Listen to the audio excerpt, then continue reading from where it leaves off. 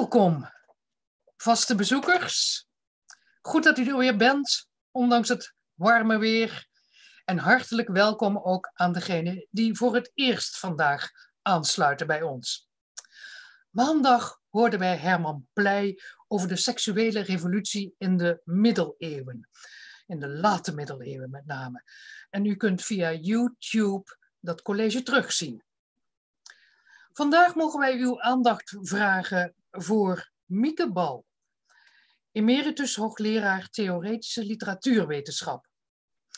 In de jaren tachtig las elke literatuurstudent haar boek over de theorie van het vertellen met haar uitleg over de focalisatie van romanfiguren. In de Verenigde Staten staat haar werk in academische boekwinkels voor het grijpen. Dat weet ik uit eigen ervaring. Maar ook in Europa, in heel Europa, is zij een fenomeen, vooral sinds zij de wending naar de kunsten gemaakt heeft. Nu moet u niet denken dat er twee damesbal zijn, want ze is niet van de ene kant kunstenares en van de andere kant wetenschapper. Het bijzondere en het unieke is juist dat zij het maken van kunst geïntegreerd heeft in haar academisch werk. Mieke Bal is aan de faculteit der geesteswetenschappen recordhouder, kampioen wat het aantal promoties betreft, 80. Ze is dan ook een heel gewaardeerde samenwerkingspartner voor PhD-studenten, voor onderzoekers en voor kunstenaars. Ze kreeg eredoctoraten in Zweden, Engeland, Finland, Zwitserland en Noorwegen. Ze was verbonden aan de University of Rochester in de Verenigde Staten. En ze was de eerste vrouwelijke uh, academiehoogleraar in Amsterdam. Ze schreef over de Bijbel vanuit een feministisch perspectief. Ze schreef over Rembrandt. Verleden jaar verscheen haar boek Het Geel van Marcel Proest. Het is een voorrecht voor ons om Mieke Bal het woord te mogen geven. U kunt tijdens het college weer vragen stellen via de Q&A-knop. En op dit moment geef ik Mieke heel graag het woord. Hartelijk dank, Marita, voor die prachtige inleiding. Een beetje verlegen word ik er altijd van, maar goed. Ik heb mijn titel een beetje veranderd, een beetje eenvoudiger gemaakt. In gesprek met Cassandra. Overwegingen over onderzoeksmethoden. Zowel wat korter als wat uh, helderder. Nou, de film waarvan ik hoop dat jullie hem hebben gezien en zo niet gaan zien heel snel, is nog maar net af de planning daarvan werd doorkruist door de coronacrisis. En dat bleek een soort inhoudelijke betekenis te hebben. Ik kreeg op 18 juni, dus ga maar na, de harde schijf vanuit Polen, Polen met de laatste resultaten van geluidsmontage en kleurcorrectie. Nou, waarom doe ik dit soort malle dingen, zoals films maken? De achterliggende vraag is, waarom is kunst geen overbodige luxe? Iets moois, leuks, fijns waar we van kunnen genieten, maar dat verder economisch en sociaal geen zin heeft. Dat is dus niet het geval. En dit half uurtje gaat over die vraag. Een pleidooi voor de noodzaak van kunst te leren ten behoeve van de maatschappij, de wereld en ons allemaal. Met die doelstelling uh, raakte ik in gesprek met Jeroen Lutters, hier onderaan links, die in 2012 bij mij promoveerde op het concept en de methode die hij heeft ontwikkeld in zijn proefschrift Art-Based Learning. Dat zie je hierboven links, als is dat pas weer uitgegeven nu in het Engels. Heel kort gezegd is dat leren niet over, maar van kunst. Laten we zien hoe dat in zijn werk gaat, is het onderliggende doel van een tentoonstelling van mijn werk in het Museum Jan Kuhne in Os. Die opent op 3 oktober aanstaande. Corona Volente. Je weet maar nooit. Waarbij ook een boek verschijnt. En Jeroen is daar de uh, curator van. Nou, in mijn eerdere studies over literatuur en kunst wilde ik vooral niet het kunstwerk onderwerpen aan kant-en-klare theorieën. Hoewel ik een van de weinige uh, hoogleraren theorie was in de wereld wilde ik dat niet doen. Theorieën waarvan het slechts een illustratie zou zijn. Terwijl het omgekeerde moet zijn. De theorie moet ten dienste staan van de kunstwerken. Maar evenmin wilde ik pretenderen zonder theorie, als een onbeschreven blad, oftewel tabula rasa, het werk tegemoet te gaan. Dat zou naïef en oneerlijk zijn. We hebben altijd theorieën in ons hoofd. En als we die niet als zodanig herkennen of erkennen, dan zien we ze altijd nog als uitgangspunten of we zien ze helemaal niet, maar we spelen er wel mee. Ze worden duidelijker en consistenter als we ze erkennen en expliciet meenemen, zonder ze de baas te laten spelen over de ontmoeting met het kunstwerk.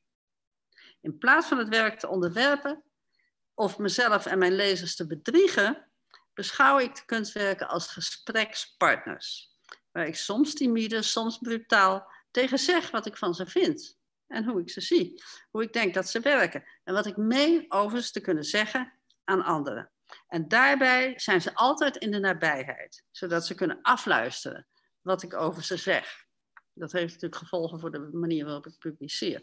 Nou, ik bouw daartoe mechanismen in die het kunstwerk in staat stellen, zoals ik het uitdruk, terug te spreken. Niet als simpele wegwijzers, maar als indicaties die, als je ze volgt of erop ingaat, naar opwindende nieuwe ideeën gaan leiden. Op een dag, zo'n 18 jaar geleden, zat ik daar. Toen zette ik de volgende stap, waarover ik het hier wil hebben. In plaats van uitsluitend bestaande kunstwerken te beschouwen, ging ik ze zelf maken. En dit deed ik in samenspraak, in dialoog met andere mensen, later met oudere kunstwerken ook, uit het literaire erfgoed. Zowel de kunstwerken van anderen als mijn eigen video's werden vervolgens inspiratiebronnen voor verder denken. En dat wordt wel in de, in de uh, theoretische wetenschappen theoretische objecten genoemd. Dingen die je aanzetten tot denken, tot nadenken, zelfs tot verdere theorievorming. Een theoretisch object is een kunstwerk dat dat effect op je heeft. Nou, de combinatie van de twee activiteiten, studie en reflectie over en het maken in beeld brengen en daarin ontwikkelen van ideeën, heb ik sindsdien geïntegreerd, vervolgd. En die combinatie bleek uiterst vruchtbaar voor beide. De tentoonstelling, evenals de publicatie, heet Kunst uit noodzaak. Dat heeft Jeroen bedacht en niet ik, maar ik vind het een goede titel. Wat verwijst naar het gevoel van urgentie. De zin, betekenis en relevantie van kunst voor de wereld van vandaag, die je, om het maar zacht uit te drukken, nogal slecht voorstaat.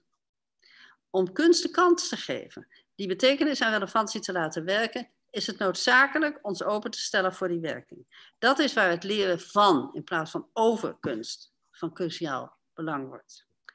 Kunst uit noodzaak betekent niet dat, omdat de wereld er zo slecht voor staat, een negatieve visie op die wereld moet worden uitgebeeld. Iedereen kent het culturele genre van de zwaarmoedige visie op de wereld, de dystopie. George Orwell's roman 1984 uit 1949 is wellicht het bekendste voorbeeld in de westerse traditie. Het jaar 1984 ligt al lang achter ons, maar de visie op surveillance, de Big Brother, die ons bespiedt en straft, is de moeite waard om nog eens naar te kijken. We lijken het inmiddels gewoon te vinden. Maar de relevantie van kunst komt niet tot het kader van de, kan niet tot het kader van de dystopische wereldvisie worden beperkt. Het videowerk dat in Oost te zien zal zijn, biedt inzichten in en beelden van andere mogelijkheden. Kritisch wel, pessimistisch niet. De noodzaak van kunst komt voort uit het verzinnen van alternatieven. Van nieuwe perspectieven die kijkers aanspreken op basis van de zintuigen en het intellect, zoals die samenkomen in de verbeelding. De documentaires waar ik, sinds, uh, waar ik in 2002 mee begon, gingen voornamelijk over kwesties rond migratie, identiteit en cultureel verschil. En daarmee wilde ik een positief beeld geven van migratie en de culturele vermenging, de verrijking die dat met zich meebrengt. Ik probeerde dicht bij de werkelijkheid te blijven, zodat de zin van wat de video's tonen de verbeelding mobiliseert. En deze dan inzetten om nieuwe mogelijkheden denkbaar te maken. En zo te betrekken op de werkelijkheid. Dus het is een, een methodologisch concept, denkbaar maken. Aanvankelijk begon ik met filmen nog steeds primair academisch gemotiveerd, omdat ik van mijn behoefte om de hedendaagse cultuur beter te begrijpen niet genoeg terecht kon in de bibliotheken. Onderzoek en de publicatie daarvan lopen altijd achter op de werkelijkheid. Zo'n vijf jaar zit daartussen. Ook wilde ik met de groepen mensen die me interesseerden zelf, net als met de kunstwerken, op gelijke voet omgaan, een gesprek hebben. Samenwerken werd uiteindelijk de grootste winst van dit soort werk. Daar heb ik het meest van genoten en van geleerd. De films werden door de televisie stevast geweigerd, hoe actueel ze ook waren. De reden was dat ze niet didactisch genoeg waren. Maar ik vertikte het. Ik ben een beetje stubborn. Ik vertikte het een uitleggende voice-over in te zetten. De mensen die kunnen beter hun eigen verhalen zelf vertellen. Tegelijkertijd werden de films in de kunstwereld juist gevraagd, omarmd. En ja, wat kon ik toen anders doen dan mezelf langzamerhand gaan zien als ook kunstenaar? Nou ja, mij best. Terug naar het heden. Een week voordat de coronacrisis ten volle uitbrak, zodat zelfs in Nederland forse maatregelen nodig waren, was ik nog net op het nippertje in Polen. Ik was uitgenodigd in het kader van een onderzoeksprogramma over de essayfilm, waarvoor de befaamde Woods Film School subsidie had gekregen. Een geweldige subsidie, zoiets als de Europese uh, subsidies. De uitnodiging was om een week, in een week tijd een essayfilm te maken, met hulp en steun van de staf en studenten van de filmschool. Wat een voorrecht. Je kunt je voorstellen hoe, hoe dat voelde om die e-mail te krijgen. Het mag ironisch klinken, maar ik had nog nooit nagedacht over het genre van de essayfilm.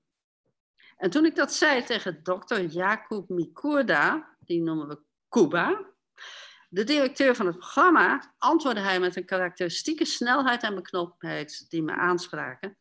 Maar al jouw films zijn essayfilms. Oh? Hij zette me aan het denken op een manier die direct vruchten zou afwerpen in het proces van één week. Wat hij bedoelde met essayfilm werd tijdens een discussie met de deelnemers van het programma, waarvan je hier wat beelden ziet, uiteengezet in minstens 50 verschillende aspecten. Je ziet daar een klein lijstje, maar goed, dat is maar meer het idee. Aspecten, termen en benaderingen. En één aspect daarvan was zelfreflectie. Nadenken over wat je doet als je een film maakt of een tekst schrijft. Dat voortdurend denken op twee niveaus. Hoe te doen wat je doet en waarom je die keuzes maakt. Dat alsmaar samen. Speelt mee in mijn intellectueel academische werk dat nooit is gestopt. Net zozeer als in het meer creatieve werk dat in 2002 begon en tot vandaag, van, uh, tot vandaag de dag doorgaat. Dat ik die twee vormen van maken, schrijven en filmen nooit heb willen of kunnen scheiden, is een belangrijk onderdeel van de zin van, ja, de noodzaak voor kunst. In een recent boek, dat Marita al noemde, Het Geel van Marcel Proust, over denkbeelden en beelddenken, heb ik dat woord beelddenken uh, ingebracht. Denken met, door en in beelden. De verbeelding, inclusief de visuele kant ervan, in de zin van tot beeld maken. Oftewel, verbeelding. Dat doet mee. Wat we ons verbeelden is evenzeer belangrijk voor het sociale gedrag, ons sociale gedrag, onze deelname aan de wereld, als de kennis, de reden en het intellectuele nadenken. Niet minder, niet meer. Even belangrijk. De twee domeinen die doorgaans als de termenpaar cognitie en emotie gezien worden als gescheiden, zijn in kunst één geheel. En hier zie je hoe ik dat door de kunst van Nalini Malani uh, geïnspireerd uh, heb uh, gebracht naar dat boek. En niet alleen in de kaft, er is een heel hoofdstuk in het boek over haar werk. En wat je hier ziet aan de rechterkant is een Cassandra. De integratie, die integratie kunnen we leren van kunst. Het vooroordeel dat kunstenaars het, het bespreken van hun werk maar aan andere, intelligentere mensen moeten overlaten. En dat academici saai en droog zijn, is al lang stevig onderuit gehaald door de talrijke kunstenaars die bezig zijn met intellectueel werk. Ook het bedenken van nieuwe ideeën, hoezeer het ook academische hoogstandjes betreft, is niet mogelijk zonder creatieve momenten en de inbreng van de verbeelding. Ik heb zelden zoveel geleerd, kennis en inzicht, inclusief voor mijn eigen denk- en schrijfwerk, als tijdens het maken van films. Van de eerste ervaring dat leerproces heb ik geleerd wat ik vroeger wel zei als ik goed vorderingen begon te maken in het leren van een vreemde taal. Ik droom in die taal. Ik denk in die taal. Denk in film, beseft is, is ook zoiets. In iedere film, sequentie, zelfs in ieder frame zit een discussie, een gedachte, zowel als een esthetische keuze. Film wordt een taal waarin je dingen tegelijk kunt uitvinden, ontdekken, beseffen, vormgeven en uitdrukken. Anders gezegd, door het uitdrukken zie je pas wat je eigenlijk precies uitdrukt. Je leert in zo'n geval niet alleen of nog niet van het kunstwerk, maar van je deelname aan het proces waarin dat tot stand komt. Met het kunstwerk. En daarin zit een mooie gelijktijdigheid tussen het leren en het ontstaan van het beeld. En het herkennen van iets dat je nog nooit eerder hebt gezien. Dat kan. Je kunt iets herkennen en zeggen, ja, je had het nog nooit gezien. En hoe maak je een idee duidelijk zonder te preken, zonder uitleggerig te worden? En zonder de ander tot object te maken, te reduceren en de complexiteit tekort te doen. hoe kan dat aanstekelijk werken voor de toeschouwer, nu liever deelnemer of gesprekspartner genoemd? Nou, probeer er eens een kunstwerk van te maken, dan ben je al een heel. Maar de tijd begon te dringen, in alle opzichten. Begin 2020 besloot ik mijn essayfilm in Polen te gaan maken rond het idee van urgentie. Geïnspireerd door Greta Thunberg en de huidige generatie van stakende en actievoerende scholieren, door hedendaagse geëngageerde kunstenaars van wereldformaat, zoals de Indiaanse Nalini Malani en de Colombiaanse Doris Salcedo, en doordrongen van de blijvende relevantie van de klassiekers van zo lang geleden, zocht ik een kapstok, een verhaal of een personage om mijn gevoel van urgentie gestalte te geven, op een manier die aanstekelijk zou kunnen werken. En zo kwam ik op de naam van Cassandra. Deze vrouw uit de klassieke oudheid was door de god Apollo, die van haar gecharmeerd was, begiftigd met de capaciteit de toekomst te voorspellen. Maar omdat ze niet inging op zijn seksuele avances, vervloekte de god haar. De goddelijke gift kon hij niet terugnemen, maar ze zou nooit geloofd worden seksuele intimidatie op de werkvloer kwam toen kennelijk ook al voor. In de teksten over haar van Aeschylus en Homerus komt deze opmerkelijke vrouwenfiguur er nogal bekijkt vanaf. En dat was een reden voor de Oost-Duitse schrijfster Christa Wolf om in 1983 een roman te publiceren waarin Cassandra centraal staat. Op een eerste Korte alinea na spreekt ze de hele roman in de eerste persoon. Ik herlas de roman met het oog op die essayfilm en onvermijdelijk met het oog op de huidige staat van de wereld. Corona was nog geen pandemie, maar de zoveelste sprinkhanenplaag in Afrika was al lang bezig. Mijn drijfveer laat Greta geen Cassandra worden. Deze film is een beetje anders dan mijn andere films. Maar tegelijk bevat hij kenmerken die door al mijn werk heen spelen. Gebaseerd op een fictie valt hij niet onder één genrehoedje te vangen. Hij is op het eerste gezicht een beetje rommelig. Ik zie de kwalificatie rommelig als een compliment overigens. Hier zit juist mijn ingrepen in de tradities van de kunstvorm. Het compositieprincipe van mijn video's gaat in tegen de verwachting van coherentie. Niet één hoofdpersoon, of niet altijd. Niet één thema, niet een enkel inhoudelijk idee, maar eerder een impliciete discussie, waarin niet per se een uitkomst, waar niet per se een uitkomst voor is. Geen herkenbaar kader waar uh, het een en ander zich afspeelt. En geen chronologische volgorde van de gebeurtenissen. En dat laatste is een leidraad voor mijn, al mijn werk. Het heen en weer springen in de tijd tussen verleden, heden en toekomst is in deze nieuwe film met de titel It's About Time, Reflections on Urgency, de hoofdmoot. Te zien in de manier waarop de hedendaagse kunst is ingezet. Ik heb dat in eerder werk preposterous history genoemd. En die term geeft aan dat de voorzetsels pre en post, dus voor en na, verwisselbaar zijn. Een wederzijdse geschiedenis. De term doet dat met een zelfironische knipoog. Het Engelse woord preposterous betekent ook bespottelijk en schandelijk. En hoe durf je? Heb ik ook vaak te horen gekregen. Als we naar het verleden kunnen kijken, kunnen we dat alleen maar doen vanuit het heden, was mijn standpunt.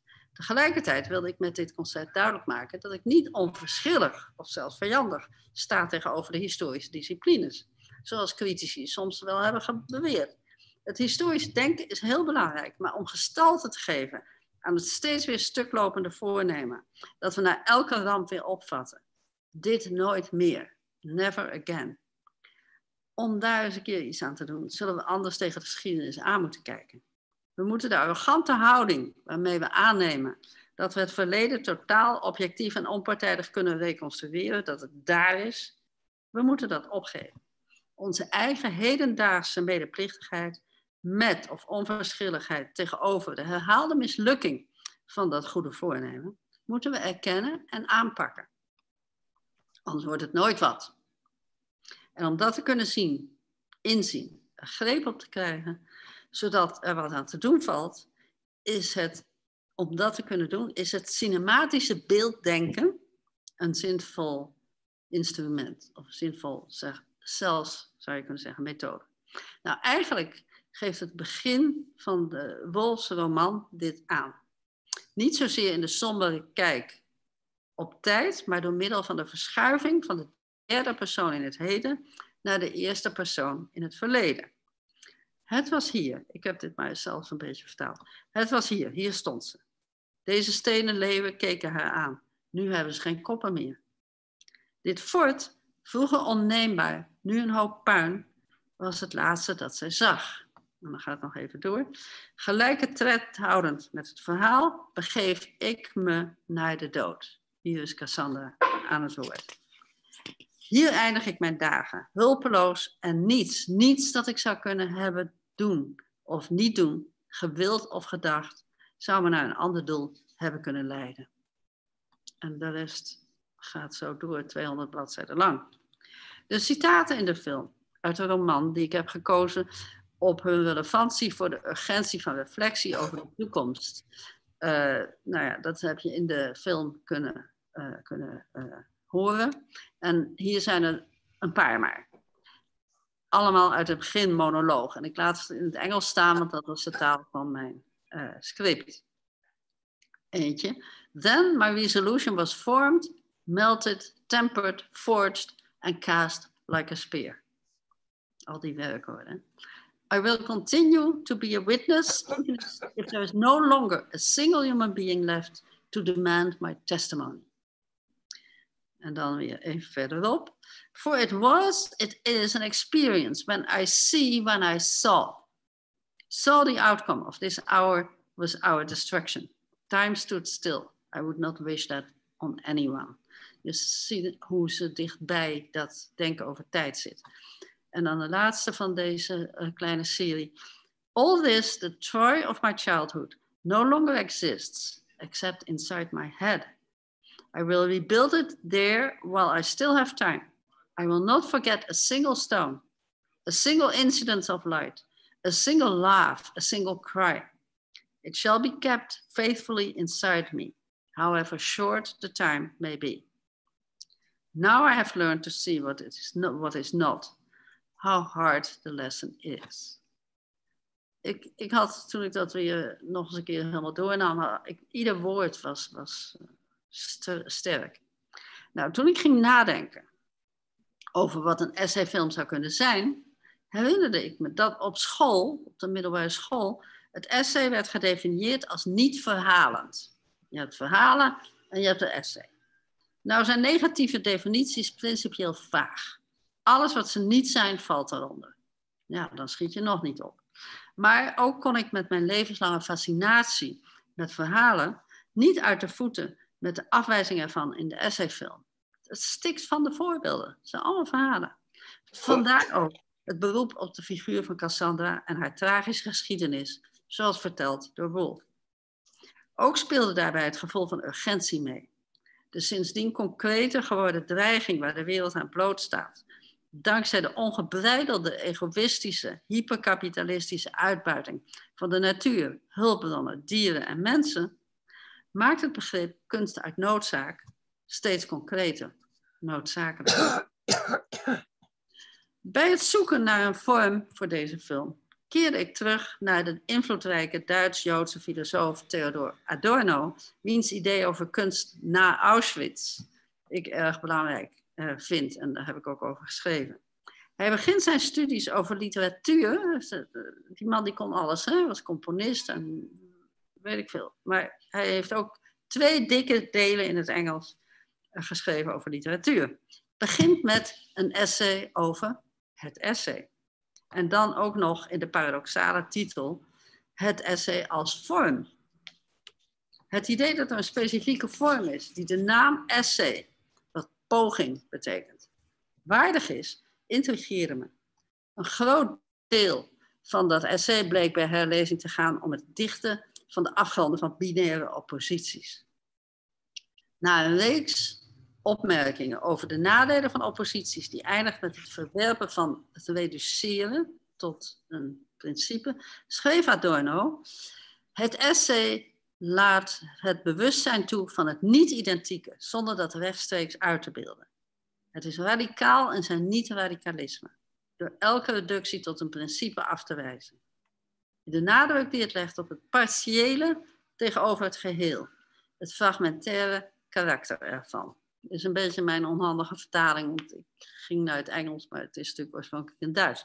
Nou, hiervan spreken wij vooral de woorden partieel en fragmentarisch uit. Die wil ik inzetten als slotakkoorden van deze presentatie. De installaties in de komende tentoonstelling zijn allemaal fragmenten in dubbele zin. Zo zijn dat zowel als fragmenten van de speelfilms waar ze op gebaseerd zijn, van de bronteksten die nooit in hun geheel behandeld kunnen worden in audiovisuele vorm, ook als, in, als ook in hun betekenissen als fragmenten van de levens die verteld en vertoond worden. Mijn hoop is dat juist het onaffe, het gefragmenteerde, dat de video-installaties in zich dragen, toeschouwers tot deelnemers maakt. Het wil ze aanzetten tot het zelf afmaken van de fragmentarische verhalen. Dat andere woord, partieel, en dat is een beetje een onhandige vertaling, betekent de bescheidenheid van slechts een deel van het geheel, omdat het geheel niet te bereiken valt.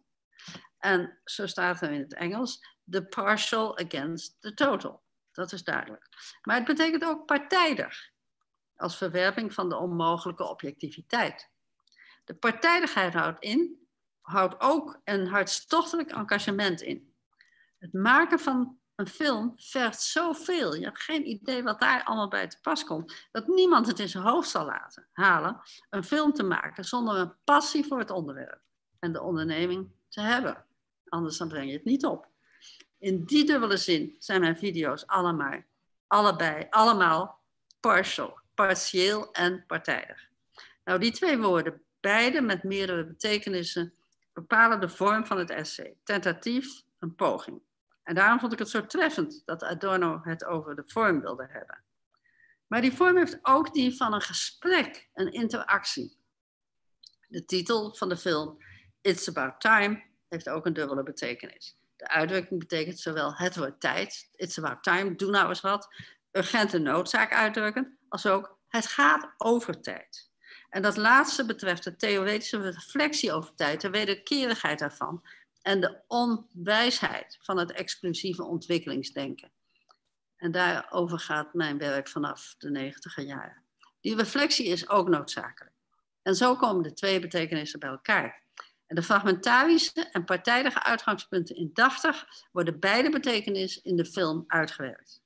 Cassandra verschijnt dan ook in meerdere gedaantes. Ze vertoont zich uiteraard als een klassieke slachtofferheldin maar ze treedt ook op als een belerende schooljuf, die aan haar student uitlegt wat een wederzijdse chronologie kan zijn, met een boek in de hand. En ze doet even dienst als regisseuse van een tableau vivant. Haar vriend Eneas geeft ze de bons omdat ze niet tegen helden kan. Hij is net wat meer aangepast aan de politieke status quo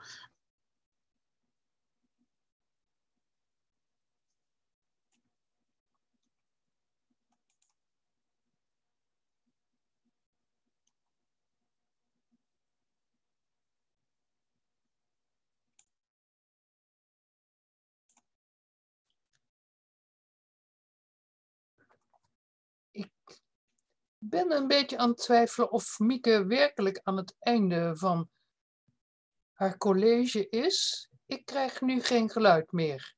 Klopt dat? Ik ook niet, inderdaad. Ik ga even Jetske berichten. Eens even kijken. Ehm, ik, ik heb zelf de indruk dat Mieke nog niet helemaal afgerond had. Mieke, kan ik jou nog even zien?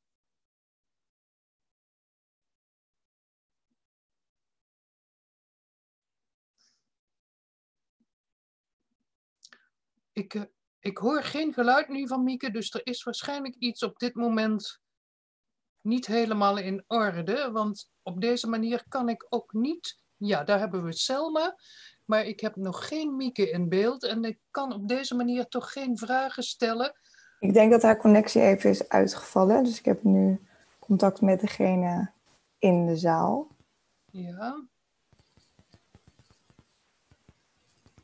Er moet even iets fout gegaan zijn. En ik kan op dit moment niet anders doen dan even kijken hoe ver we komen en de tijd even doorspreken tot wij weer beeld hebben met Mieke. Want ik kan moeilijk vragen gaan stellen zonder dat we antwoorden krijgen. Inderdaad. uh, het, uh, uh, er zijn wel interessante vragen, een paar binnengekomen naar mijn idee, maar het, um, ik kan ze moeilijk voor u gaan beantwoorden.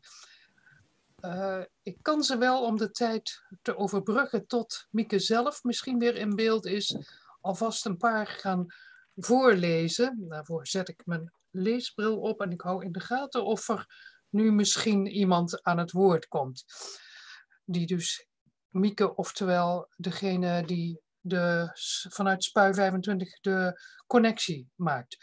Een van de vragen is, hoe zou u uw methode om kunst en wetenschap te integreren in het onderwijs willen toepassen?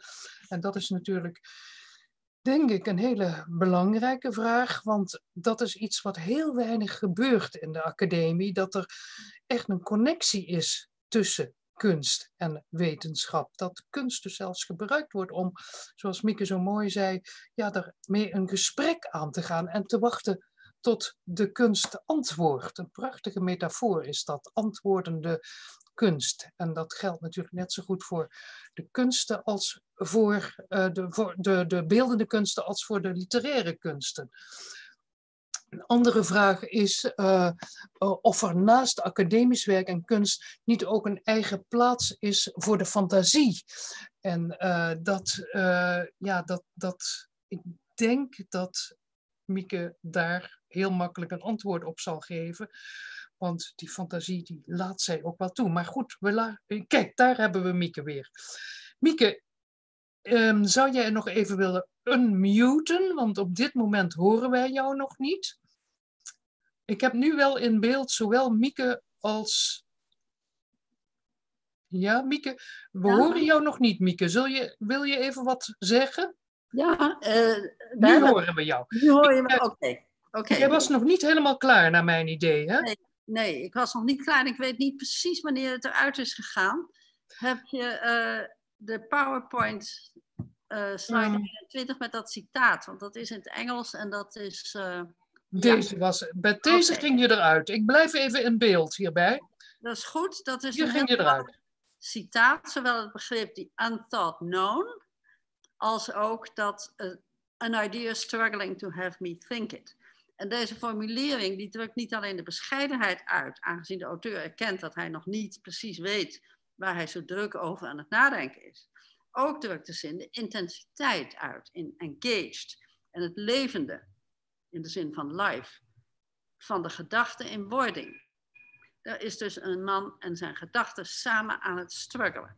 De auteur en zijn object, het idee waar hij mee bezig is, doen het samen. En dat idee zo schrijft hij in een fraaie personificatie, worstelt om de status van idee te bereiken. Het wil gedacht worden.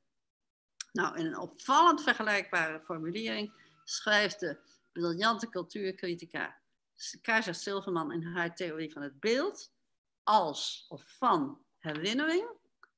En je zult zien hoe dat op elkaar lijkt. If in trying to make sense of this strange account of unconscious memories, I am unable to avoid attributing to them the status of a subject, that is because subjectivity itself is in its most profound sense nothing other than a constellation of visual memories, which is struggling to achieve a perceptual form.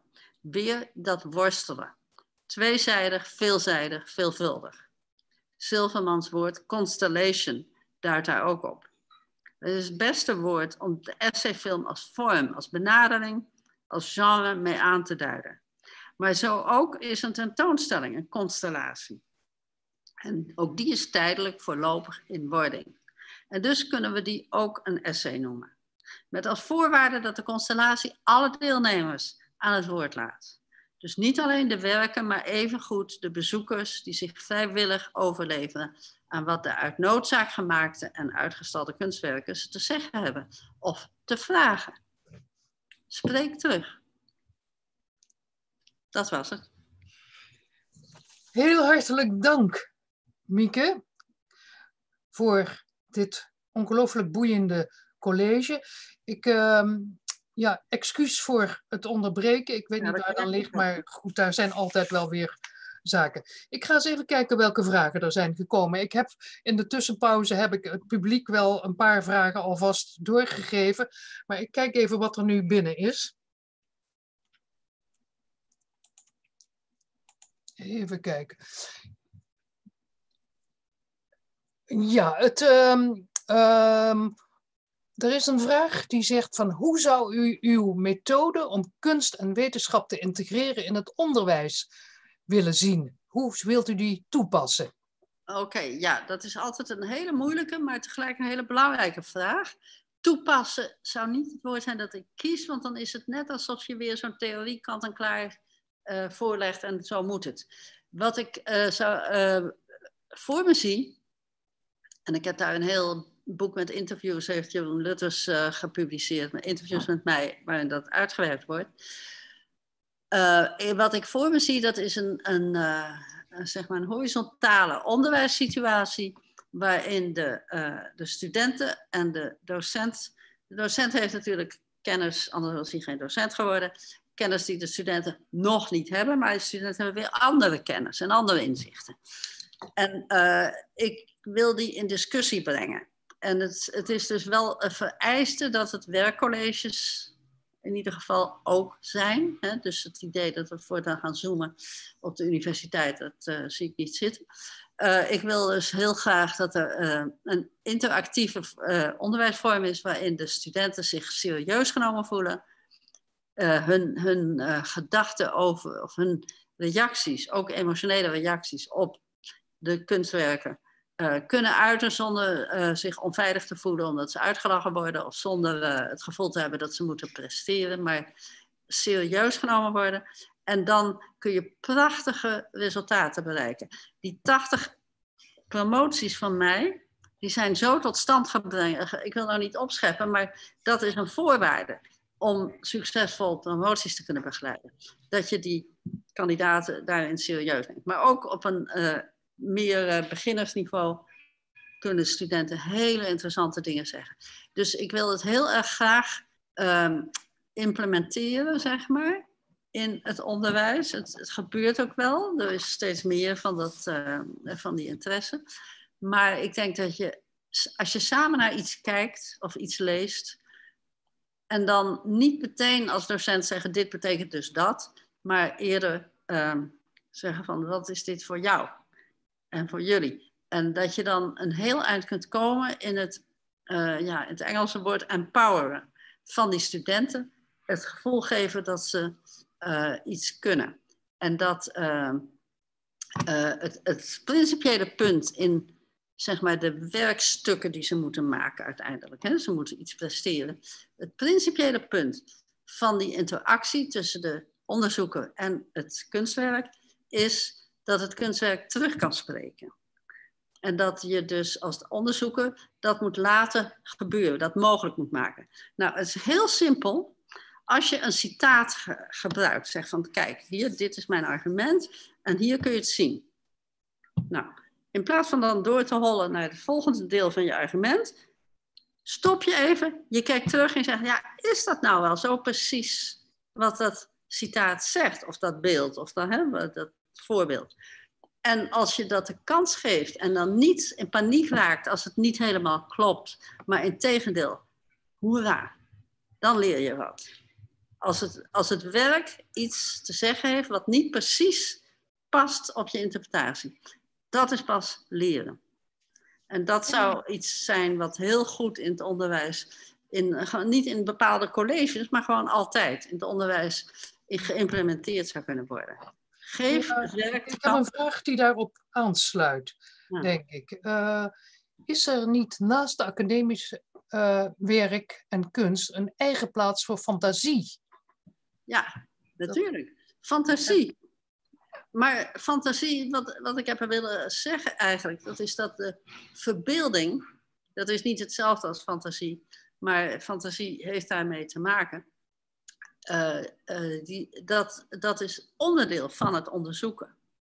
Je kunt niet onderzoeken zonder uh, verbeelding.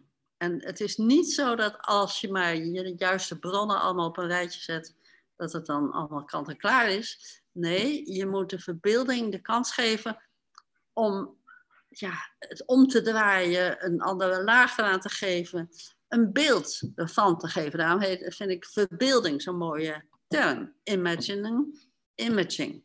Je moet uh, verbeelding hebben om een beeld te kunnen geven. Mm. En fantasie is daar zeker onderdeel van, ja. Maar die moet natuurlijk toch wel in contact staan met andere vaardigheden. Mm. Anders dan wordt het een beetje een wilde toestand. Maar ja, fantasie is zeker belangrijk. Ik denk dat, ik, uh, dat er nog ruimte is voor één vraag die gaat over Adorno. Hmm. Uh, het partiële en fragmentarische, waar hij het over heeft in verband met essays. Dat is toch ook kenmerkend voor veel moderne romans. is dat nou wel alleen maar specifiek voor essays? Dat is ook een hele goede vraag. Want eigenlijk denk ik dat als Adorno zijn twee dikke delen. Als dat begint met een essay over het essay, dat dat essay een soort constellatie teweeg brengt, waardoor alles daar uh, een plaats in kan krijgen. Dus ik denk dat het inderdaad een, uh, is niet alleen in het essay. Maar het essay geeft het, laat het zien in een, op een manier die, omdat je ook die, dat, aan die andere kant van het parcel, hè, dus het partijdige, het, je hebt een visie. Een essay heeft een visie, dat, terwijl een wetenschappelijk werk is zogenaamd objectief. Geloven we daar niet altijd in, maar hè, dat, dat is een andere benadering. Het essay laat een heleboel mogelijk, wat inderdaad in romans dan ook uh, terechtkomt. Nee, absoluut. En wat dat betreft is Adorno profetisch in dit mhm. in, de, in dit essay.